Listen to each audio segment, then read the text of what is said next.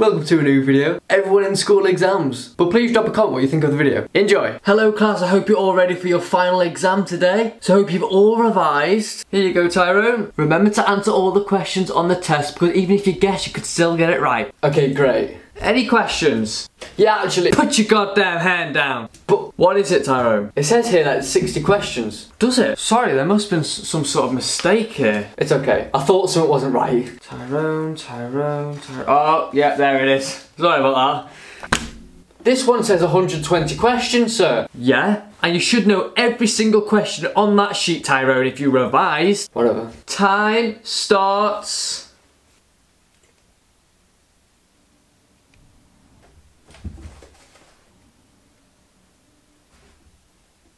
Now. Good luck, everyone. What? Sir, you never taught us this. This is exactly what I've taught you. That doesn't even make sense. It's not my job to teach you every little thing that may come in the exam, Tyrone. You should revise more, young man. Oh my, you know what? There's probably something I know on this test. What is that? Sir, I don't know it. You need to help me. This doesn't make sense. Yeah, it does. Look, don't tell anyone, but I'm going to help you with the first question, okay? What the? Right class, pens down, that's the end of the test. What? It's been two minutes! Well, you need to focus more and stop talking. Derek's been texting throughout the test. Yeah, but I only saw you though, so five marks off.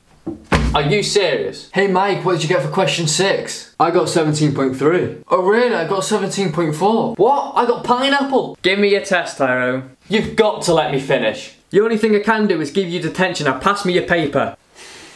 Okay, great. Um, your proper exam will start tomorrow. Proper exam? Yeah, that was just a warm-up test. You said it was the final exam. Did I? Oh, it was just a warm-up test. Phew! I guess I'll do better in the proper one then. Oh, and Tyrone, you have 20 minutes taken off your exam for tomorrow.